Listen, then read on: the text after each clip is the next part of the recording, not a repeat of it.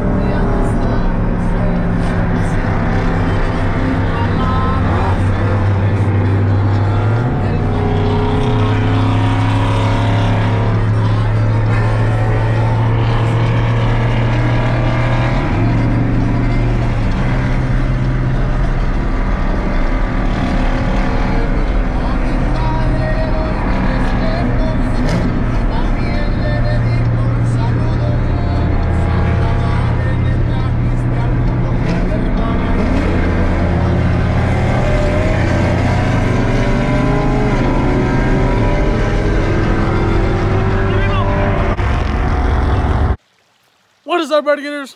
I'm back. Hopefully you guys liked today's video. McAllen car meet. Shit was lit. It was super lit.